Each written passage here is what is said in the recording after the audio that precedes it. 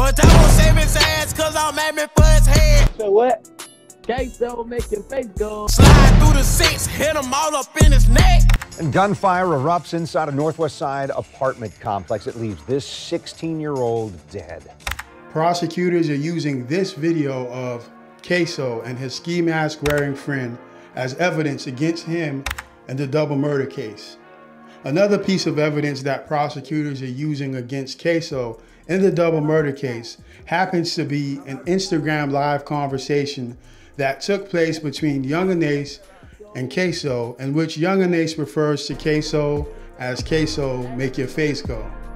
Now, prosecutors are also using another social media post against Ksoo in this case, which is of Ksoo wearing a Mike Bibby jersey, along with friends that are also wearing Mike Bibby jerseys, which is a reference to the death of Adrian Gainer. Now they're using this to support the fact that they believe that Ksoo took the life of Adrian Gainer, aka Bibby, as he was referred to by some friends.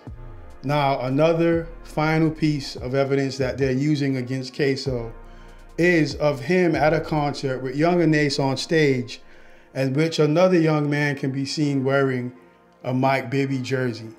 Now, prosecutors are using these social media posts to further prove their point that he saying Bibby's name in songs, wearing jerseys, mocking Bibby, is in fact the killer of Bibby.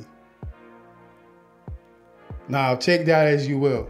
What are your thoughts on prosecutors using social media posts to further prove their evidence?